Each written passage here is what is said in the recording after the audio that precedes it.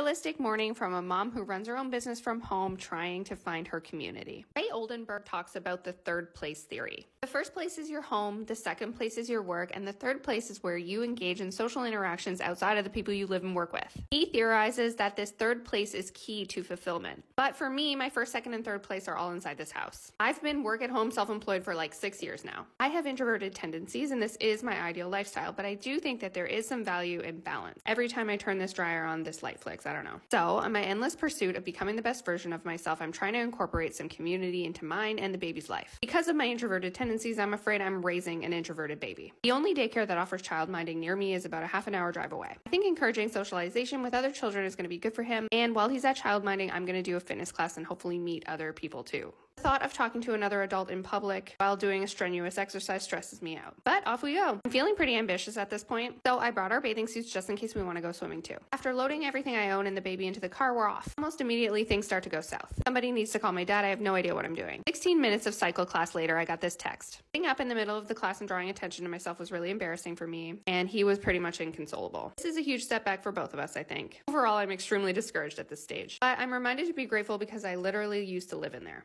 So I got a little treaty treat and Saxon and I went thrifting. I ended up getting two carts. Now I have to put all this away and cancel our gym membership.